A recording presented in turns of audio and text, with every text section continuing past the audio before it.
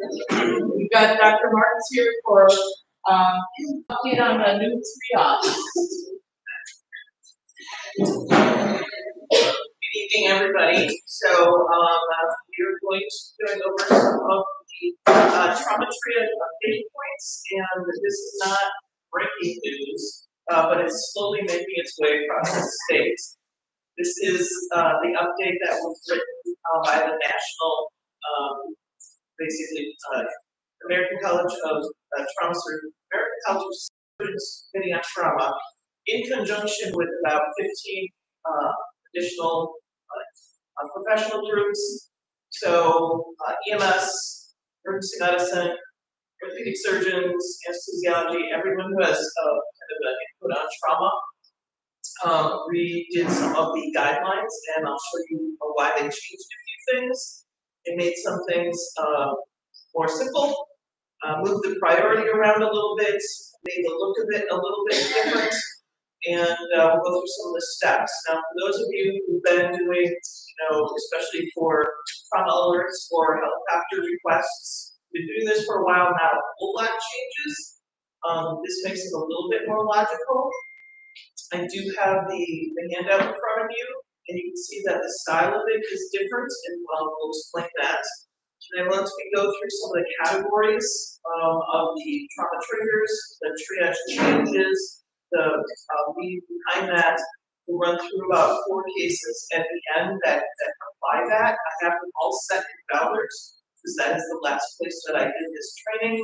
So we all get to pretend that we're in Ballers when we, when we do cases, but that's okay. You can translate this to wherever you uh, find yourself. Hi. So, let's get going.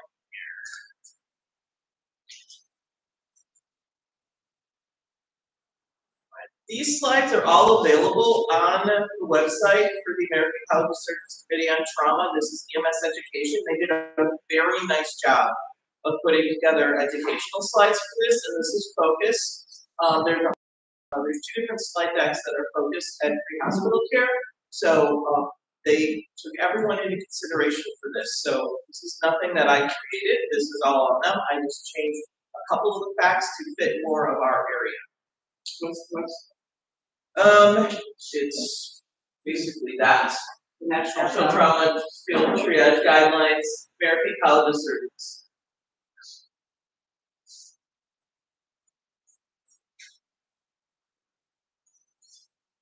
All right, so some of the things that we're going to be looking at is just a, a the update process, explain some of the changes, um, and then um, apply it locally. And of course, they follow your own rules. So this this is uh, based on your own local resources, and you have to make certain decisions uh, based on that. So we recognize that everybody's setup is a little bit different. Okay.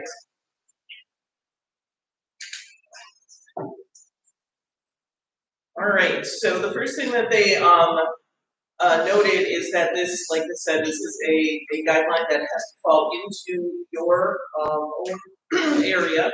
This is an update based on about uh, 30 years total of work. And the last update that they wrote was in 2011, I believe. So it's been over a decade of counting statistics based on their previous triage. Um, so they, they adopted a little bit uh, different things, but their, their goal is still the same, and that's to get the right patient to the right place at the right time. So trying to get your patient to the, the most appropriate facility, and uh, we'll go into the difference between what happens if you don't triage correctly, either over triage or under triage, and then putting kind of the education behind this so that everyone operates uh, the same. Okay, so like I said, the last uh, guideline was published in 2011, so it's a while ago. I want to make this more consistent and reduce the um, over and under triage rate. So over triage means that um, you send somebody to a higher level of care and they don't there. So as most of you are aware, that's quite expensive. The under triage rate means that you uh, maintain them in either a, local or a lower level uh, trauma center when they actually need higher level care. that is not the best outcome for the patient, because then they either don't get care or uh, things get missed, or it gets delayed because you have to do a secondary transport.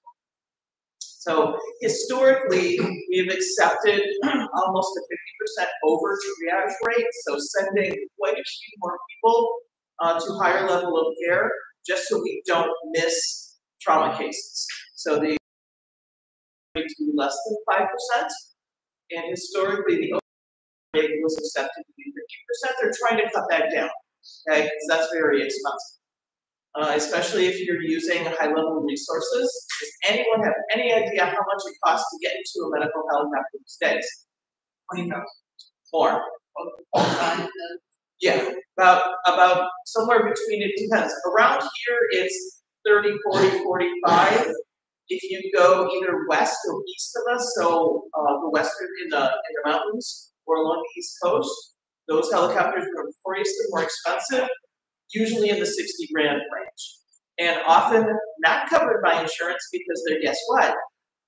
Out of network. Because nobody really has a helicopter in their network, right?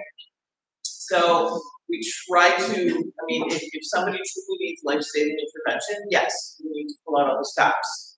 But, um, that's why trying to get them the best resources, the most appropriate resources, but not costing, you know, literally an arm and a leg. So what they did, um, they actually did, um, a bunch of research, they took the results, and they asked EMS. Oh no, what a concept the people who actually have to use this. So they sent out a survey, uh, it went to twenty-nine large organizations, they got almost four thousand back, and they actually took that into consideration. So they took those responses, they sent them out to a bunch of, like I said, trauma surgeons, uh, EMS medical directors, field providers, um, trauma registrars, coordinators, educators, everybody went through this, and they pulled out some, uh, interesting data that they thought would be able uh, to make this work better, especially in the pre-hospital areas. Okay. So they also went through, like I said, research and literature and all the update that we have uh, that has been generated in the past decade. And um, then they made a bunch of decisions. They tried to be as consistent as possible. So this is what the old um, triage guideline looked like. The Wisconsin version was a little bit different um, because we had two two sections of step one. So the total Wisconsin triage was actually five steps. That's because um, they had a, a big concern about airway. They spent 45 minutes at one meeting deciding whether or not EMS what an airway was. So now that we know that you do know what an airway is, uh, we will just move forward with that. Okay. So as opposed to kind of the pathway, the step, the stepwise guideline, the new um, uh, guideline or is the handout that I gave you, and it is more of a checklist. It's more of something they, they try to design it so things would come to you as you evaluate your scene uh, or your patients. And you can see that there's a red section at the top and a yellow section at the bottom. We'll go through that just by default for anyone who knows you know, how we do things. Red is probably worse, right? And then yellow is probably not as bad. So that's what it means. Emphasize it's not an algorithm. You need to you can go through it as soon as you find something that either pulls a yellow or a red trigger. Um, that means that you have an applicant patient, and uh, they tried to make it more user friendly. Okay? Um, based on their initial field tests, this did get you to the decision to either call a trauma alert or a, a major trauma if you need additional resources sooner. So that was that was one of their things. Hi. Um, like I said, red's on top, yellow's on the bottom. You read top to bottom, right to left, it doesn't really matter. So as you figure out what is uh, what's important to your patient, then you make a decision. All right, so some of the red categories. All right, so updates on injury patterns. So the new part is the recognition of tourniquet use. Okay, so emphasis on tourniquet use. If you truly need a tourniquet, you also need a vascular surgeon. Okay, That being said, the words truly are in there. So we also recognize that everyone is carrying tourniquets these days. To me, tourniquet is the Narcan of trauma. Okay? Everyone gets one. You may or may not need one. So if you are triaging being applied, you have to make sure that your mechanism of injury and your wound actually correspond to that. Because we have many civilians that apply tourniquets, we have law enforcement that applies tourniquets, you have responders, um, you have people who are just there. So uh, yes, someone who truly has a tourniquet need also needs a vascular surgeon, and that means that they have to go to a high level care trauma. Okay? So that's one point. Then they reworded some of these just to be a little bit more clear. So penetrating injuries to head, neck, torso, and proximal extremities. They took away the caveat of uh, proximal to elbow and knee. Um, it's mostly just recognition that your, your main box, the center of your body, that's a high risk. Okay? So penetrating trauma to the center of the body usually also requires vascular surgeon, or at least a trauma surgeon, depending on what you get. Okay? Then under skull deformity, uh, suspected skull fracture, they took out the words open or depressed because they really they recognize that we cannot make that diagnosis in the field, and they they don't want you pushing on people to tell whether it's open or depressed. Okay, so we'll just give you the benefit of the doubt and say, yeah, it's kind of bad. All right. Uh, suspected spinal injury with new motor or sensory loss. They took out the word paralysis because they wanted to emphasize uh, the significance of uh, partial spinal cord injury. So even if you can still move somewhat, but you have weakness and you have either uh, numbness, tingling, know, inability to control your extremity, that also is significant. So it's not like you have to be totally paralyzed before we get you to a higher level of care. You recognize a spinal cord injury, and uh, that buys you at least a trauma alert, usually transferred to higher level of care because they also need neurosurgery uh, to take look at that. Okay? Um, then chest wall instability, deformity, or suspected flail chest. They added suspected because again, you don't have always the capability of being able to totally uh, diagnose that. So if you have a high suspicion, then it, that needs to get worked up. okay, then the same thing, suspected pelvic fracture, suspected fracture of two or more proximal long bones. So again, recognizing that we don't have the ability to do definitive uh, diagnosis in the field. Everyone knows that proximal long bones are your femurs and your humerus, right? It is not your tib fib, it is not your wrist. Okay, so these don't count. Your two bone, you get to break those. Those are not major trauma. Okay. Then uh, things that did not change is um, the, the leftover statements there. So uh, fresh, uh, degloved, mangled, pulseless. So again, vascular compromise. Amputation proximal to wrist or ankle.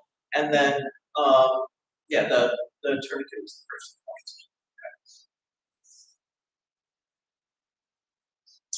Some specific age-related assessment and vital signs um, were kind of subcategorized. Okay, so one thing that they added uh, to uh, the child and adults. Now notice these age ranges are a little bit different. For trauma, uh, young children are single digits old. Okay, so they're less than age 10. Then once you hit 10 and above, um, you are considered uh, kind of in the older child to adult range. Okay?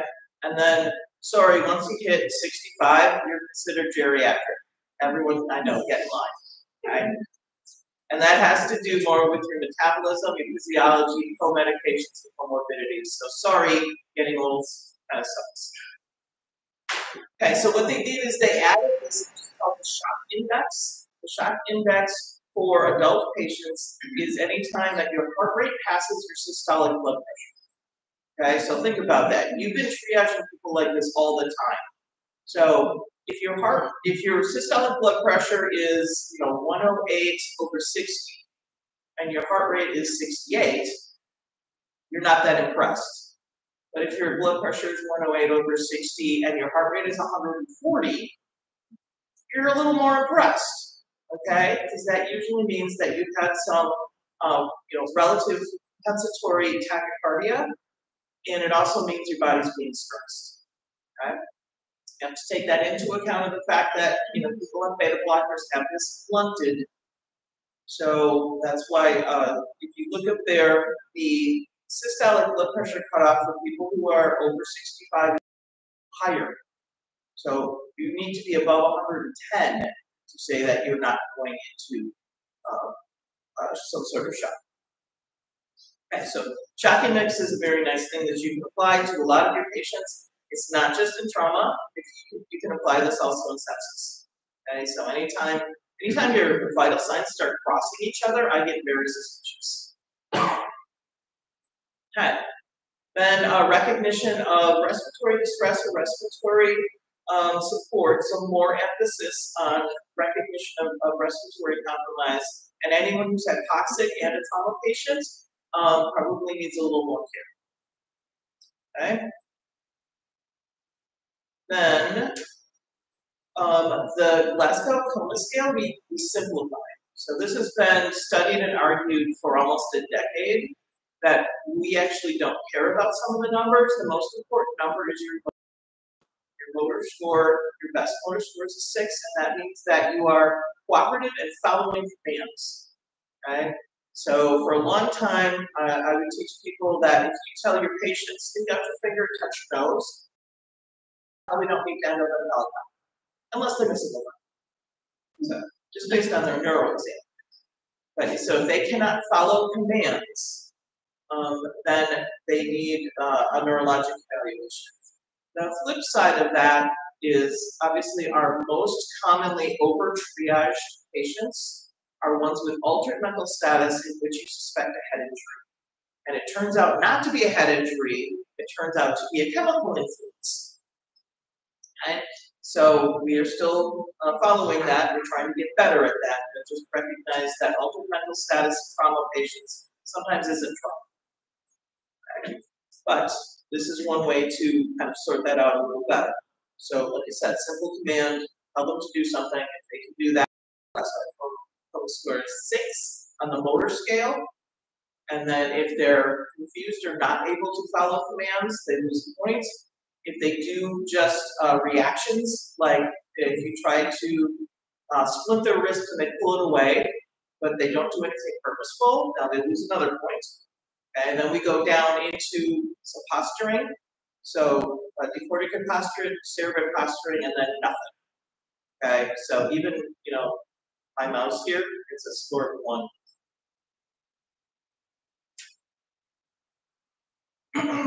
okay. They added in the uh, lowest acceptable blood pressure range for uh, the children, single digits. So this is um, this is a formula that's commonly used in pediatric emergency medicine. So it's uh, whatever their age is, double it, add it to 70. That's supposed to be the lowest acceptable blood pressure that they have. Okay, now on to our yellow section. All right. So things that are on here. Um, the new emphasis that they added was any child, so single digit child, um, who is unrestrained or improperly restrained. So if they're in a car crash with significant mechanism and they are not in their car seat, or they're in their car seat but the car seat was not attached to anything, we call that an internal car bullet. Um, so recognizing that they need the extra protection of that car seat, and if that car seat is not functional, then they are much more likely to sustain uh, transfer of, of energy during that trauma. Okay. Um, most of that is the same. So the intrusion um, uh, mechanisms are the same, but they added the emphasis on extrication from entrapped patients. The caveat to that is it's not it's not somebody who simply can't get out and they can't pop the door.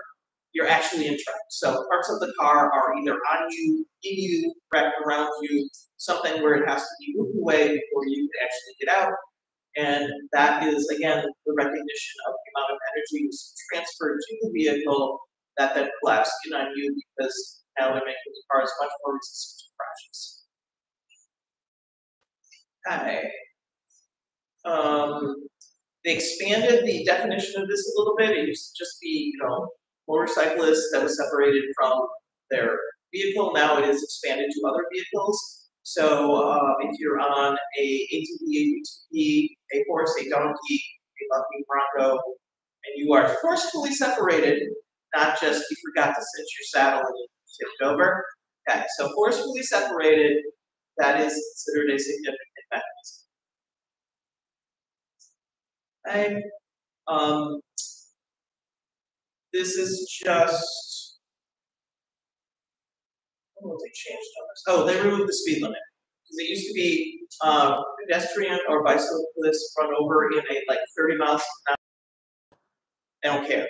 So, um, I mean, yes, if you're on the sidewalk and grandma backs into you, that is not really a significant mechanism.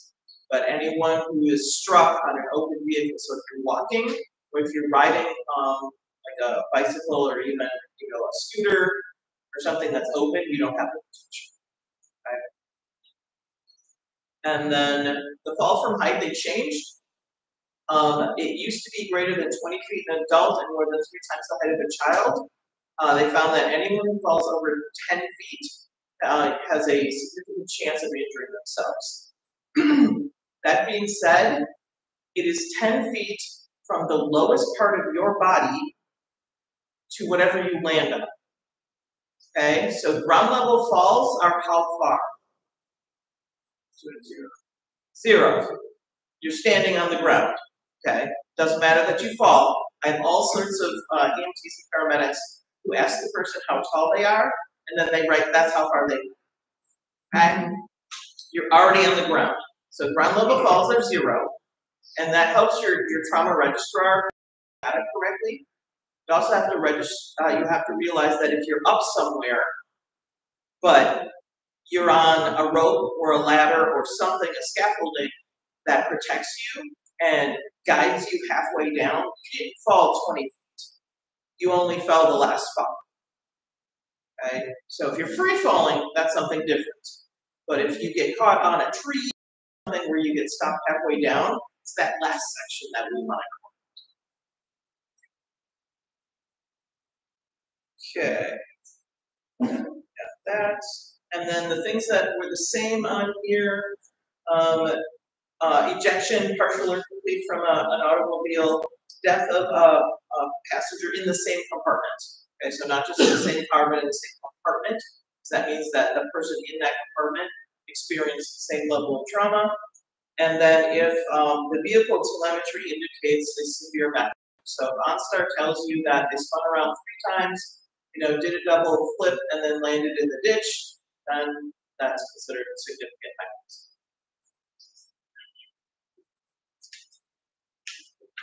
Okay. So other points. We've got the 10 foot mark in general, but then recognizing that certain populations are prone to lower level um, or higher level of injury with lower level falls. So Anyone who's under five or over 65, um, even if they have low level falls, you need to evaluate them, especially if they land on their head. Okay, and this has been going on in pediatrics for decades. They've recognized that, you know, if the child falls off the changing table on their butt, it's not such a big deal. But if they land on their head, that could be a problem. Okay, so recognizing that mechanism, and then along with the children, any suspicion of child abuse needs to be evaluated thoroughly. Patients with special health care needs, both children and adults, um, and this has to do with if their special health care needs especially uh, impacts either their airway, um, their ability to communicate, um, or if they are prone to bleeding. So I don't know how many uh, left ventricular assist device patients you have walking around, but they are they are prone to bleeding. So anytime they have a minor trauma or a minor bleed, even a nosebleed can make them unstable. So they need to get someplace that knows how to evaluate them. That's what the special uh, care uh, needs mean. They have to go somewhere that somebody can actually figure it out. So if we've got a child who's on a vent, they need to go someplace that knows how to run a vent, they need to know how to troubleshoot that vent. If you've got your LVAD patient, they need to go to their LVADs. Alright. And then they modified the anticoagulant used to be freestanding. It used to be anticoagulant used with a head injury. Now it's just if you're anticoagulated and you're a trauma patient, we recognize that you're at higher risk of having a bad outcome. Okay, so that is now a freestanding um, identifier. Then things on here that didn't change, um, pregnancy, burns, and that uh, children should preferentially go to a pediatric trauma center. That, that's not any change.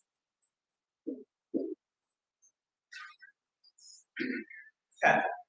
So a few caveats with this. I said appreciate the context. This is for a single trauma scene. This is not an MCI triage. Okay? So this does not apply to 15 people out in you know, a bus crash. That's a different setup. So this is if you're individually triaging a trauma patient. It is pre-hospital only. This does not apply to hospitals. Okay? So hospitals get to have a little different variation on their rules. Um, they're much more driven by the pathophysiology of the patient, not so much the mechanism, because they've expected you to kind of screen for that.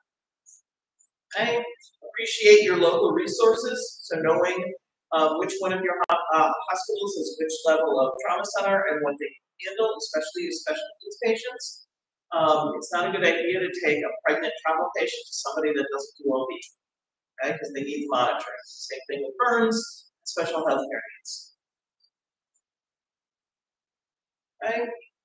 Um, this has been encouraged by, uh, you know, nationwide. State of Wisconsin has adopted it. The um, various uh, HERCs and RTACs have also uh, moved forward on this. We're doing the education, so yay us. And like I said, the uh, website that that uh, released this does a very nice job about giving you um, some free educational uh, material that you can use for training. And then tracking your outcomes. So it's a good idea to be able to get some feedback on your trauma patients. Again, this is nothing new.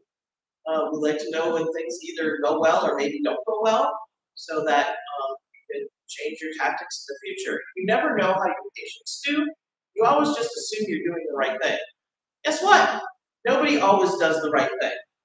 So if you keep making the same mistake again and again and again, because nobody's told you that you made a mistake, it doesn't really help make sure you're asking for feedback and accept it when it gets sent out. Right? So if they identify your challenges, use them. Use them as training every single time. Because I guarantee they're interesting cases. So share them. I've noticed though that not all the hospitals like to share.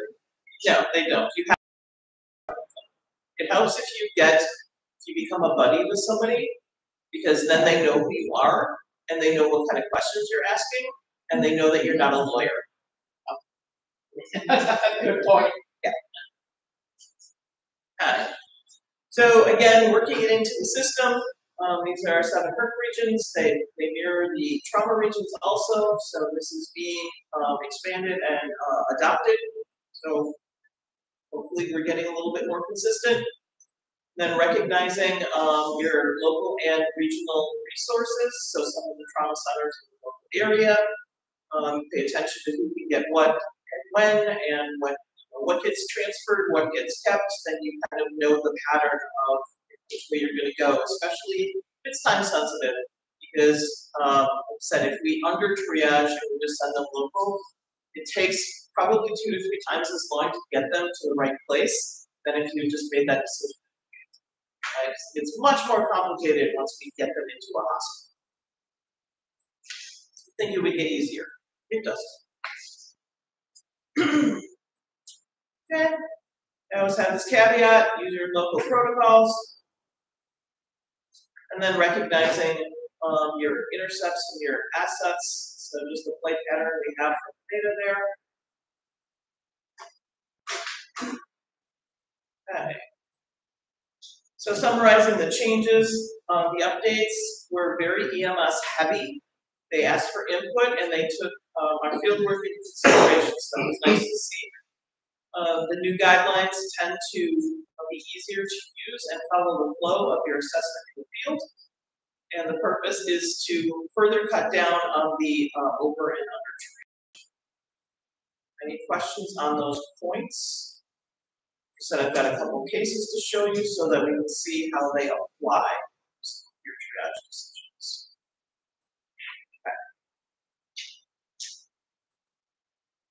All right, so cases, caveats, yes, scenarios, back to that. Okay, so here's our first case. So this is identified to be in a rural area. There's a level two trauma center approximately 30 to 40 minutes away. There's a level three trauma center, it's about 20 minutes away, and a community hospital also 20 minutes away. Um, air transport can get there in about 20 minutes. It's a little enthusiastic, but we'll just say 20 minutes to make it easy. Two vehicle crash. Um, one car's over the embankment. Um, another car is flipped over in the ditch. So you and a second ambulance or a second responding unit. So there's two different units coming in. So first one is going to be this patient, and then we'll look at the second patient. So what you see here is the car. It's a stand. It's over the embankment. It does have front and side damage. The driver is a young female who is alert and responding, but is unable to get out because of the door damage that is seen there. Door is opened by a rescue and she is able to self-extricate. Okay, so any red flags yet? Okay. On primary survey, she's alert, she's talking, she's yelling for help, she answers questions appropriately, she does not appear to have any respiratory distress. Um, skin is warm, dry, and pink, she has a strong radial pulse, she is following commands, and she's a little peeved. Okay, so any red flags Yeah.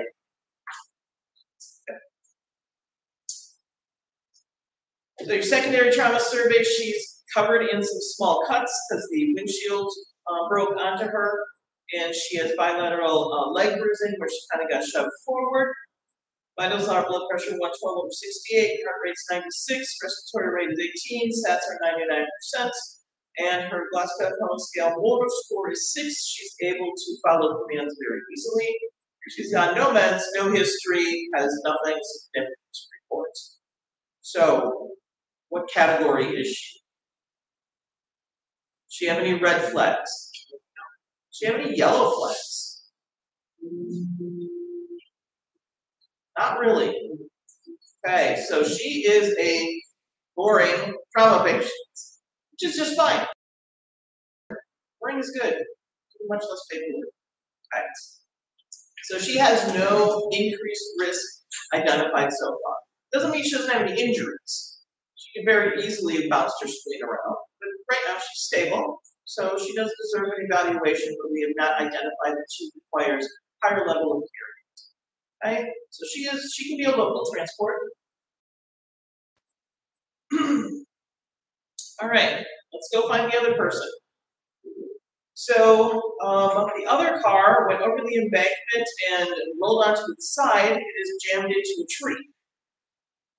Um, also, there is a um, young female restrained driver who's awake and answering questions, um, but she notes that her um, lower extremities are trapped on the dash. This requires more complex maneuvers to uh, remove the roof, roll the dash, and extrication takes about 25 minutes. Okay, so any red flags? Yes. Okay, red or yellow? Yellow. Okay. Because she's still talking, so that part's good. All right. Said alert talking, no respiratory distress, skin warm, dry pink, radial pulse is strong, she's following command. She's also rather upset about this whole situation. And on exam, she has exactly the same injuries. So she's got some the same um, her level of consciousness. She's also young and healthy, so um, no meds, no allergies, no past medical history. So the difference between those two is that extrication. Okay? So she is a yellow patient. She would be a trauma alert, but she still may not need to go to the uh, level one or two trauma centers. Okay, so the hospital needs, this was more significant than the other one, especially if they're both getting these two patients. But so far, she's awake and stable. Did that change? Yes. Okay. Questions on those two?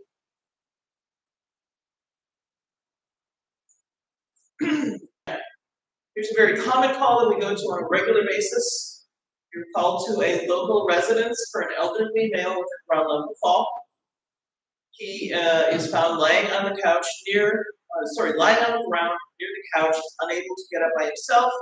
He lives alone, so he activated either by his fall alert button or he called on his cell phone or however he managed to call for help. But he's down and uh, he can't get back up. Okay, so let's see how he's doing. He's alert, he answers questions. He does not appear to be in any respiratory distress. Uh, skin is warm, dry, and pink. He has a strong radial pulse. He's following commands, and he's uh, oriented. He says he just tripped and down. He went and get himself back up. Any red flags so far? Any yellow flags so far? So far, so good. On exam, he has a large hematoma or a goose egg on his left forehead with a small skin tear. And you know that he has multiple bruises on his arms and they are different colors. Okay, so he's got some old bruising. And then his vitals include blood pressure of 168 over 84, heart rate of 84, respiratory rate 12, sats are 96% on room air. He is able to follow commands, so his Glasgow Public Scale motor score is 6. He's got history of coronary artery disease, hypertension, osteoarthritis, AFib, and he is on warfarin.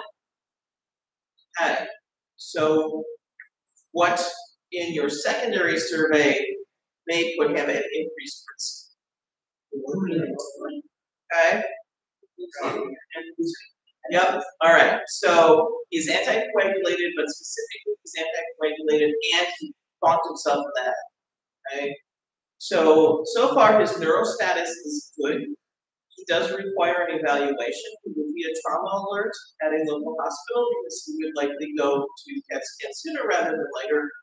And then they would uh, do a very thorough head to toe on him because he's old, he fell, he's anticoagulated, he would get himself back up. Okay?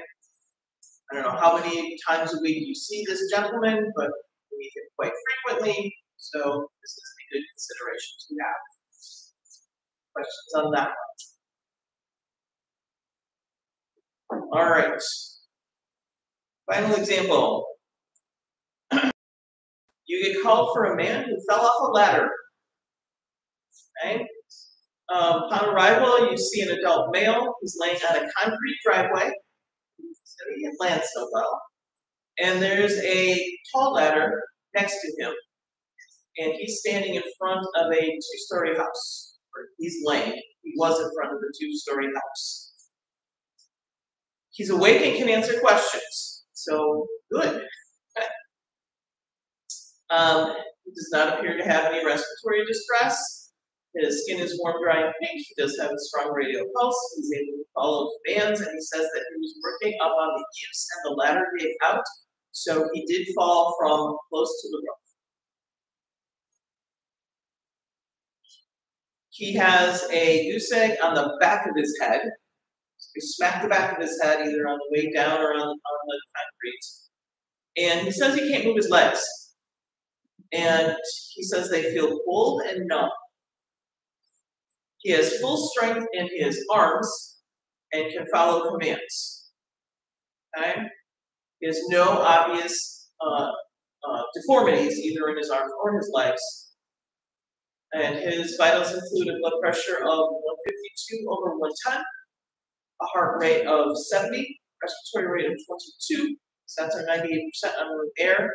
His Glasgow motor scale, or Glasgow coma scale, motor section is considered a 6.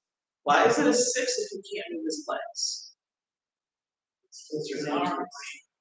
Yeah, so you get the best score possible for your motor scale.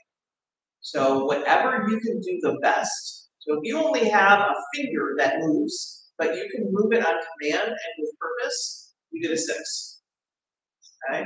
You'll give them the, the best benefits, and then you also have to then note the deficits. Okay, so that's kind of the balancing act between your neuro exam. Okay, he's known to have a history of hypertension, coronary artery disease, and he's had a double bypass. All right, so does he have red flags?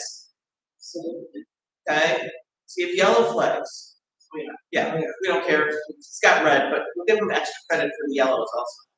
So you're correct, his mechanism automatically put him as a trauma triage, but then his subsequent deficits moved him into the red category. So this is someone who's going to need higher level of care, he needs a level one or a level two trauma center sooner rather than later, and he might need to get into the very expensive air test. Okay, any questions on that one? So it's fine, is puts them in red for sure, but with that crusading back cell fracture. Um, yes, but, uh, it does not indicate that it's like it's a deformity, it's just a hematoma, So he has, really he has a head injury, uh, but his neural status is still good. Okay, so that's a yellow. Okay. All right, so this is the update, um, again, uh, considering your local availability your resources, your usual transport patterns, these are some things that may influence that and either cause you to send somebody further away or use resources. Um, it also can help appropriately keep patients in their local community. Uh, because depending on what's available, they can be evaluated. This is not guaranteed that uh, local hospitals will not find something else, and that's okay. Um, but we're trying to, again, hone down that over triage and that under triage, to make the trauma system work as well for you and your community as possible. And, uh, then we will continue to, uh, train on this, to get feedback on it, and they will, um, develop this further as we get more data. Okay. Questions, comment, criticisms? Alright, that's all I got for you.